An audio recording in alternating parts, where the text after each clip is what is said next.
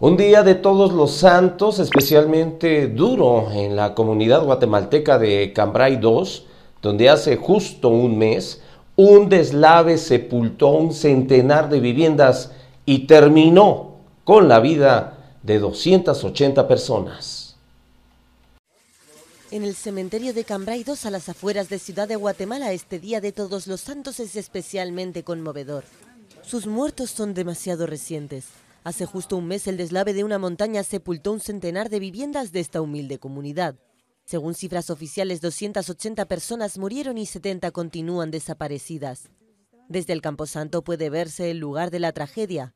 El gobierno lo declaró inhabitable y reubicará a los supervivientes en un poblado aledaño.